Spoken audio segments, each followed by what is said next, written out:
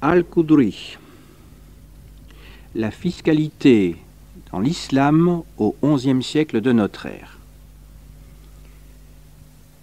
Ce texte est tiré d'Al-Qudri, abrégé de jurisprudence, édité par De Sassy dans la bibliothèque des arabisans français, tome 1, Le Caire, 1923. Quand les musulmans, étant entrés dans le pays ennemi, ont mis le siège devant une ville ou une place forte, ils en invitent les habitants à embrasser l'islam. Si les habitants y consentent, les musulmans ne peuvent plus agir contre eux hostilement. Quand au contraire ils s'y refusent, les musulmans leur proposent de se soumettre à payer la capitation, jizya. S'ils acceptent, ils jouissent dès ce moment des mêmes droits et contractent les mêmes obligations que les musulmans. Lorsque l'imam prend une ville de vive force, il a le choix ou de la partager entre les musulmans, ou d'y laisser les habitants, en leur imposant la capitation, jizya. En ce qui concerne les prisonniers, il est aussi maître de les tuer, ou de les réduire en esclavage, ou de leur laisser la liberté, en les admettant sous la protection d'Ima des musulmans. La terre des Arabes tout entière est une terre de dîmes, Ushr. Le Sawad est une terre de Karaj. La terre du Sawad est possédée en propriété par ses habitants. Il leur est libre de la vendre et d'en disposer en maître. Toute terre dont les habitants ont embrassé volontairement l'islam, ou qui a été conquise de force et partagée à titre de butin, Ghanima, entre les musulmans, est une terre de dîmes. Toute terre conquise de force et dans la possession de laquelle ses habitants ont été maintenus, est une terre de Karaj. Lorsqu'un homme soumis au Karaj embrasse l'islam, on continue à lui faire acquitter le Karaj. Comme auparavant, il est permis à un musulman d'acquérir une terre soumise au Karaj d'un sujet d'imi et alors on prend de lui le karach. On ne perçoit point de karach sur le revenu des terres de Dim. La capitation, jizya, est de deux sortes. L'une qui est imposée par convention, de gré à gré et à l'amiable, et dont le taux est fixé d'accord avec les contractants. L'autre, l'imam impose de son autorité, quand il a soumis des infidèles et les a maintenus dans la possession de leur propriété. Il impose sur l'homme riche, reconnu pour tel, une capitation annuelle de 48 dirhams. L'homme d'une aisance moyenne est imposé à 24 dirhams par an. Enfin, le pauvre qui gagne sa vie par un travail est imposé à 12 dirhams par an. On impose la jizya sur les juifs, les chrétiens, les mages et les idolâtres étrangers, mais non sur les idolâtres arabes ni sur les apostats. Les femmes, les enfants, les estropiés, les paralytiques et les pauvres qui n'ont qu'un moyen de gagner leur vie par leur travail ne sont point soumis à la jizya, non plus que les moines qui vivent dans le monde. Si un homme soumis à la jizya embrasse l'islam, il devient exempt de cette imposition. Tout ce que l'imam retire du karaj, de la dîme, de l'imposition sur les biens des banous Garlip, des présents que lui font les infidèles ennemis des musulmans, et de la jizya, il l'emploie au profit des musulmans. On s'en sert pour la défense des frontières, pour construire des ponts, donner un traitement convenable aux cadis, aux administrateurs et aux savants musulmans, et payer les pensions alimentaires des militaires et de leurs enfants. Commentaire. La simplicité apparente du texte, qui énumère les impôts, ne doit pas masquer les problèmes posés à l'historien par un traité de nature juridique. Quand a-t-il été écrit? Dans quel but? Sur quel principe s'appuie-t-il? Reflète-t-il la réalité ou un état idéal? La démarche devra donc être double. D'abord bien comprendre le système fiscal dans le monde musulman, à l'époque abbasside, et sa justification. Ensuite, s'interroger sur les rapports entre droit et réalité, se méfier des généralités à partir d'un texte théorique.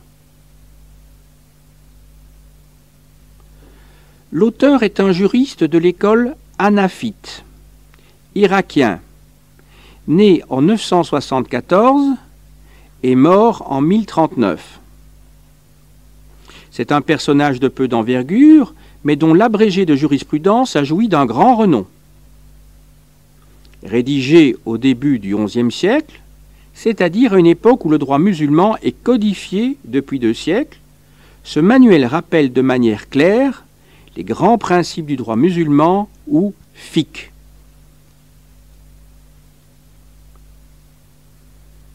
Le fiqh est la science du droit religieux de l'islam, qui précise les obligations et interdictions pesant sur les musulmans en application de la loi. Sharia. Il englobe tous les aspects de la vie publique et privée. Selon les règles fixées au IXe siècle par Al-Shafi'i, le fiqh se fonde sur le Coran. La tradition, ou sunna, c'est-à-dire l'ensemble des hadiths le raisonnement par analogie, ou kiya, et l'accord des juristes, ou ijma. Mais le fiqh est en réalité le résultat d'une longue élaboration du 7e au 9e siècle, dans laquelle les coutumes locales, les réalités concrètes, les pratiques pré-islamiques, les opinions personnelles des juristes, mais aussi les problèmes posés à la communauté musulmane par le développement d'un immense empire, ont tenu une grande place à côté des principes coraniques. De grands recueils, reposant sur l'enseignement de quatre grands juristes, Abu Hanifa, mort en 767, Malik, mort en 795, Al-Shafi'i, mort en 820, Ibn Hanbal, mort en 855 ont été rédigés au IXe siècle, codifiant les règles considérées désormais par les musulmans comme partie constitutive de l'islam. Ils ont engendré les quatre écoles de jurisprudence, Malikite, Hanéfite, Shafiite et Hanbalite. L'auteur de ce traité, Hanafite, résume donc ici l'enseignement d'Ibn Hanbal et des grands traités hanbalites. Il ne prétend aucunement faire œuvre originale, ni même œuvre de réflexion. Il écrit à une époque où le fiqh est considéré comme définitivement élaboré. Le rôle des juristes est seulement de l'enseigner, de l'expliquer, de le commenter, de l'appliquer. Ce préambule sur le fiqh est indispensable pour interpréter correctement le texte.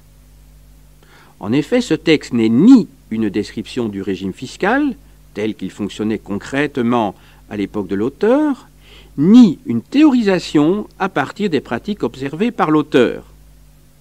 Car ce texte, de par sa nature, renvoie à la situation foncière et fiscale qui était celle de l'apogée abbasside, donc au début du IXe siècle, situation que les juristes ont alors légitimée à l'époque où ils rédigeaient leurs traités. En particulier, Al-Qudri reprend, résume et simplifie les données du Kitab al-Karaj ou livre de l'impôt foncier, rédigé par le grand cadi Abu Youssouf Yacoub, mort en 798 à la demande du calife Harun al-Rashid. On voit donc par cet exemple que la présentation du document ne peut se résumer à la biographie de l'auteur, mais doit permettre d'en comprendre la portée historique. Le texte est clair, il est facile d'en dégager les principales affirmations. 1. Trois modes de conquête. Adhésion volontaire à l'islam, soumission moyennant paiement d'un tribut, conquête par force. 2. Deux types de terres. L'Arabie, terre de Dim, et le Sawat, terre de Karach, parce que conquise par force et laissée à ses habitants. 3. Capitation ou jizya, imposée aux non-musulmans selon un tarif dégressif. Enfin, 4. Destination de ces différents revenus. Il s'agit moins de rappeler le contexte de la rédaction de ce traité que celui de la constitution d'un vaste empire et des problèmes posés aux califes omeyyades puis abbassides pour élaborer un système fiscal qui tienne compte à la fois des réalités et des prescriptions coraniques. Abordons dans un premier temps le régime des terres et le système fiscal qui résulte de la conquête. C'est là le point essentiel. Le système foncier et fiscal de l'Empire musulman est fondé sur le droit de la conquête, rappelé au début du texte et à plusieurs reprises. Al-Quduri distingue trois cas. D'abord, premier cas, si les habitants d'un pays ennemi se convertissent immédiatement et librement à l'islam face à l'avance d'une armée de conquérants musulmans, ceux-ci n'ont plus de raison de leur faire la guerre. 2. Si ces habitants acceptent de se soumettre moyennant tribut, et sous-entendu de garder leurs terres, leur religion, leurs biens, etc., ils bénéficient des mêmes droits et obligations que les musulmans. 3. Enfin, S'ils refusent de se soumettre, mais sont battus, conquête d'une ville de vive force, alors l'imam, c'est-à-dire le calife, est libre de reprendre les terres ou de les partager entre les musulmans ou de les laisser aux habitants, moyennant tribut. Ceci est la théorie qui fonde le système foncier fiscal. Dans la réalité, les musulmans ont dans la plus grande partie des cas, laisser la terre aux indigènes des pays vaincus. Eux-mêmes, trop peu nombreux et de tradition nomade, ne pouvaient se substituer aux sociétés paysannes. Les cas de confiscation de terres ont été limités. Les habitants des pays conquis n'ont jamais spontanément adhéré à l'islam. Le premier cas évoqué est donc tout théorique. Seuls se sont présentés deux cas soumission moyennant tribut, conquête de vive force avec, le plus souvent, la terre laissée aux habitants. Mais ces généralités doivent être nuancées, car les situations ont beaucoup varié selon les régions, en fonction notamment des modalités concrètes de la conquête. La conquête entraîne la distinction entre musulmans et non-musulmans. Les conquérants musulmans doivent payer le zakat, obligation coranique, devenue impôt versé sur ses biens. Elle prend le nom de ushr ou dim quand il s'agit de la zakat sur la terre. Les conquis, indigènes non musulmans, doivent payer un tribut appelé ici jizya, qui est le prix de leur soumission et du maintien de leur terre. Son fondement est coranique. Combattez également ceux, parmi les gens du livre, qui ne professent pas la religion de la vérité, à moins qu'ils ne versent la jizya directement et en toute humilité. Coran, chapitre 9, sourate 29. Dans la pratique, au lendemain de la conquête, les impôts versés ont varié selon les régions, en fonction des modalités de la conquête et des pratiques fiscales antérieures.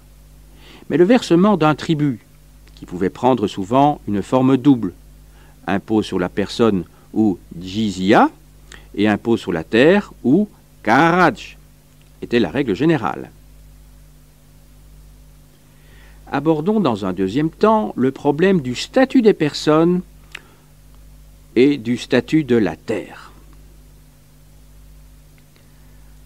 Al-Qudri ne cherche nullement à montrer quelle a été l'évolution du système fiscal, mais seulement à rappeler les règles admises par tous à partir de l'époque abbasside et toujours en vigueur, à savoir trois types d'impôts. Deux impôts fonciers, Oujr et Karaj, un impôt personnel, Jizya.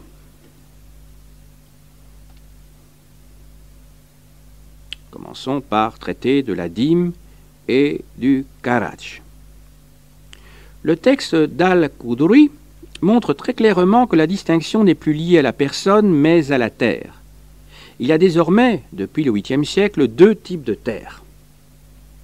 Les terres de dîme, sur lesquelles est due la dîme qui était à l'origine l'impôt foncier payé par les musulmans sur les revenus de leurs terres.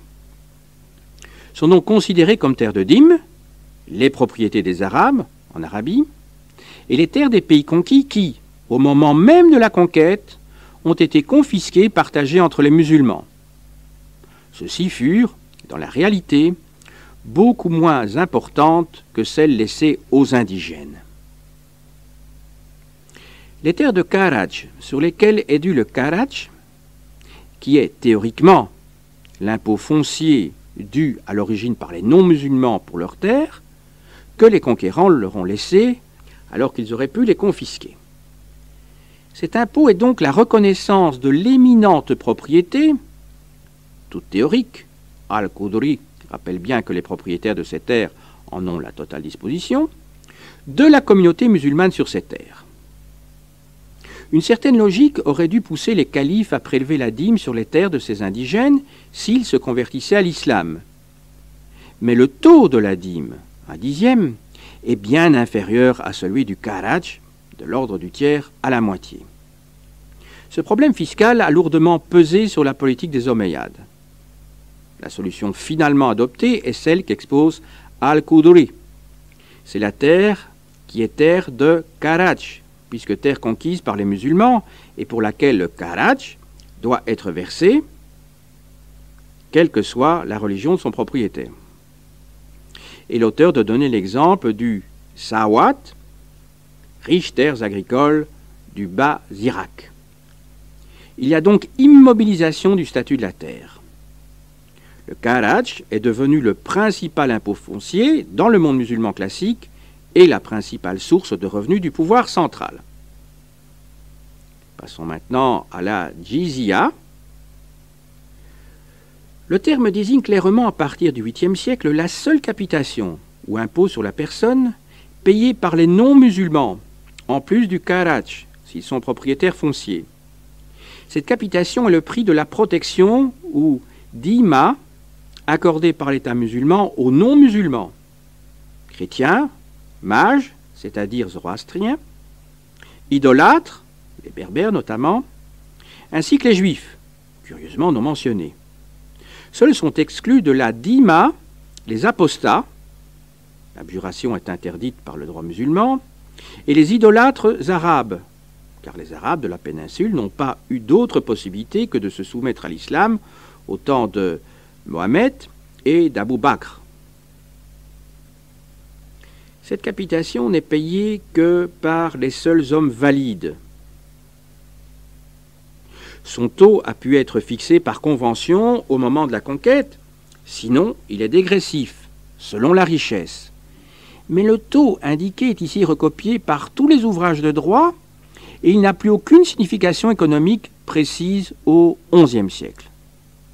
C'est moins son poids que son caractère discriminatoire, voire infamant, qui doit être souligné. Dernier sujet à considérer, la perception des impôts.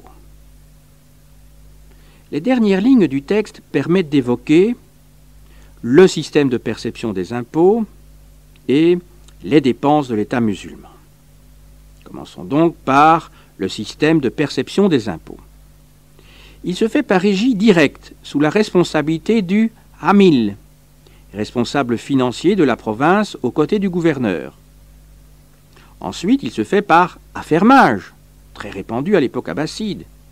Et enfin, il se fait par dévolution au chef militaire des revenus fiscaux d'un village, d'un district, d'une région. C'est le système de l'ICTA, développé à partir de l'époque buyide. Même lorsque les impôts sont prélevés au profit du pouvoir central, seul parvient à Bagdad le surplus.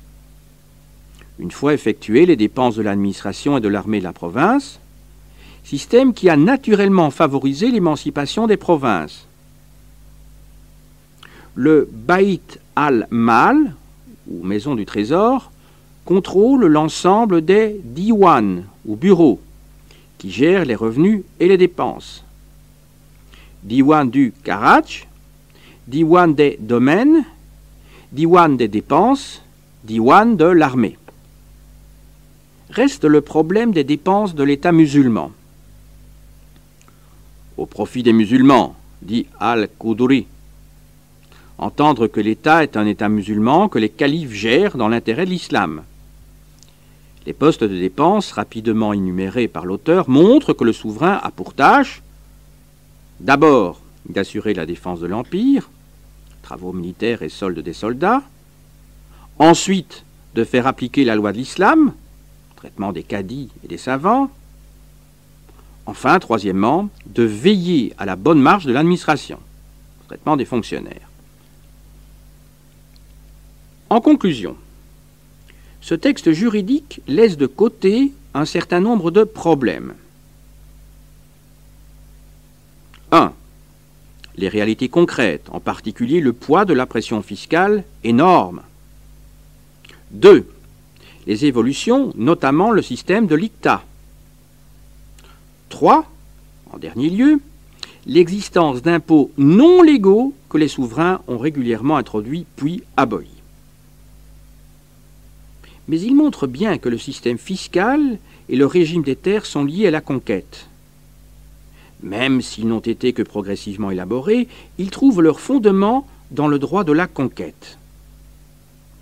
L'Empire musulman, né de ces conquêtes, affirme son éminente propriété sur l'ensemble des territoires et fonctionne comme une énorme machine administrative qui prélève sur tous les impôts utilisés pour le maintien, la défense et l'extension de son territoire